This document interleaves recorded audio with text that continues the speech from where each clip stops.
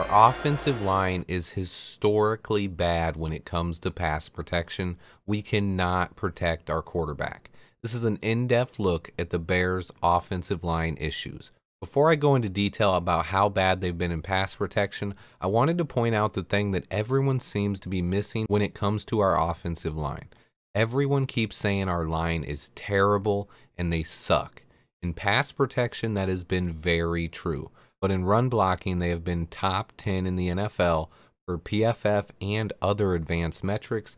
Our overall offensive EPA actually hasn't been bad, mostly due to Justin Fields and the running backs breaking off big gains, but this offense has still moved the ball effectively for the most part.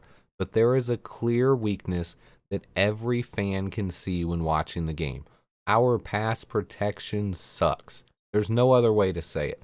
Let's get into the advanced metrics. Justin has faced pressure on 42% of his dropbacks within two seconds. That means before he can even complete his three step drop, he has pressure in his face nearly half the time he drops back to pass. And that's before he even completes his drop. This is the most that has ever been documented. It's important to note that pressures didn't start getting tracked until 2009, but in the last 14 years or more, no quarterback has faced as much pressure as Justin Fields has this season. Is it all on the offensive line? Does Justin Fields also hold the ball too long and take some sacks himself? Let's dig into that a bit. Let's go to the chart on the screen here. You can easily see that Fields has the highest pressure percentage but you can also see how much of that is on the quarterback. Currently, Fields is blamed for 22.2% of the pressures he's taken, and the offensive line is responsible for about 74% of the pressures. So, pretty much three fourths of the blame goes to the offensive line, and the rest is on Fields himself. The other interesting thing I want to show here is you can see that Mitch Trubisky is awful at this and giving up a ton of sacks this year. We can also see that Patrick Mahomes consistently takes the most sacks on himself, meaning he holds the ball too long all the time. Does that make him a bad quarterback? Clearly not. He needs that time and he uses his athletic ability to buy extra time to allow his guys to get open to make special plays. Justin Fields has a lot of that same ability. He's not Patrick Mahomes. That's not what I'm saying. But the narrative that he holds the ball a bit too long is overblown. The best quarterbacks in the league do that, but he does need to work on getting the ball out quicker or throwing it away when nothing is there. That should come with time. But back to the offensive line, we've established that they simply have not been good in pass protection, but they are good at run blocking. Let's dig deeper into the PFF grades so you can see exactly what I mean. According to PFF, Larry Borom and Teven Jenkins have been our two most consistent offensive linemen by far. This is what I've seen most of the year on tape as well. I'm not a big PFF guy, but wanted to use this as a resource since Jonathan Wood tweeted it out. Meanwhile, Braxton Jones has been just as good as Teven Jenkins versus the run and grades out as our second best run blocker. He, however, has struggled in pass protection. He hasn't struggled anywhere near as much as Lucas Patrick and Sam Mustipher have versus the pass, though. But neither guy has been garbage. Both grade out much better versus the run. Patrick and Mustipher's grades in pass protection are unacceptable. They are awful.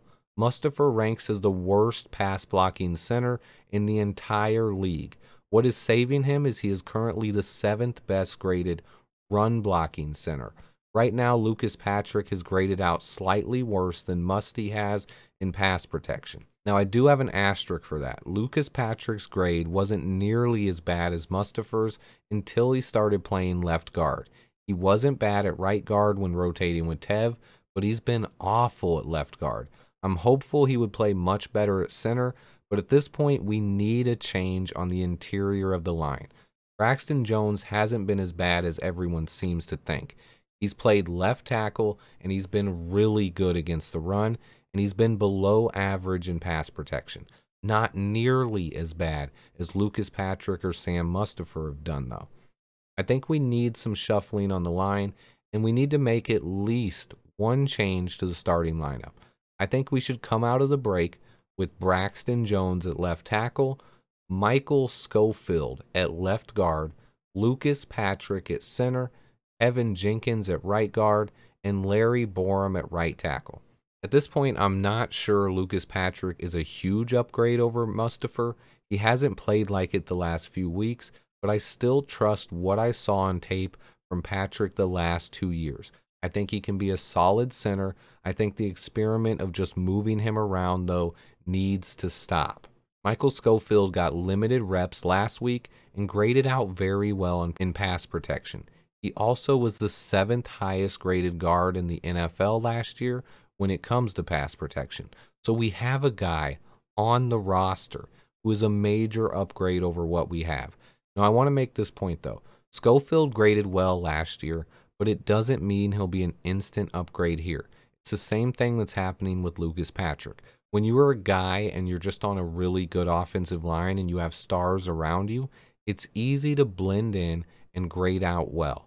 On a young line where players are struggling, I highly doubt Schofield would grade out as well as he did with the Chargers last year.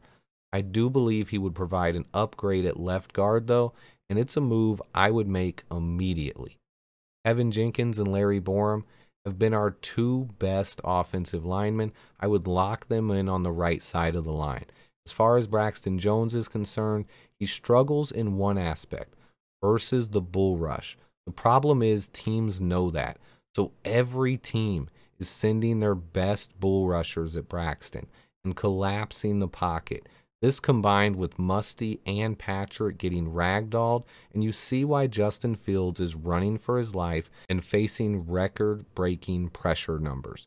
I think Braxton Jones has a bright future.